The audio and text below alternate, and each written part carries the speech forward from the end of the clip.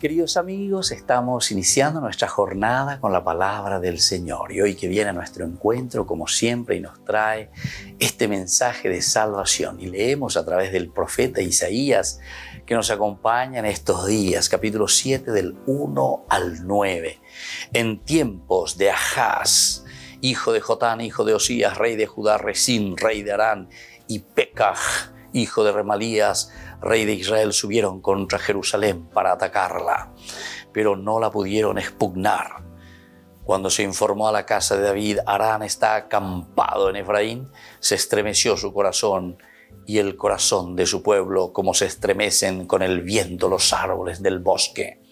El Señor dijo a Isaías, ve al encuentro de Haz, tú y tu hijo Sear y Asub, al extremo del canal del estanque superior, sobre la senda del campo del tintorero.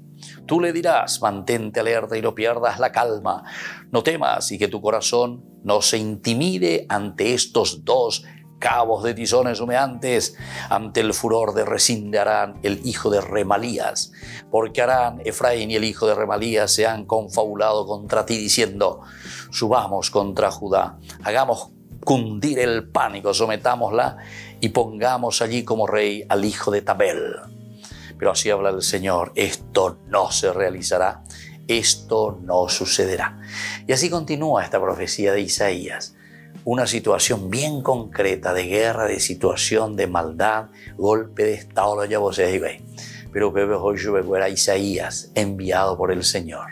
Anire si estás en la verdad, si están en la justicia, eso no sucederá, porque la fuerza de Dios te acompaña.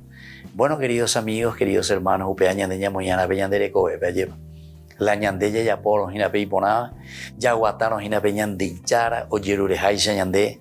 Así también el Señor nos envía su palabra y nos dice, no podrán contra ti, porque Jerusalén tiene un muro inexpugnable ubeaize ina peña de conazo, peña de ña, peña de unja, peña de cobe, jamás lo van a tirar por el suelo cuando estamos afarrados y acompañados de Dios.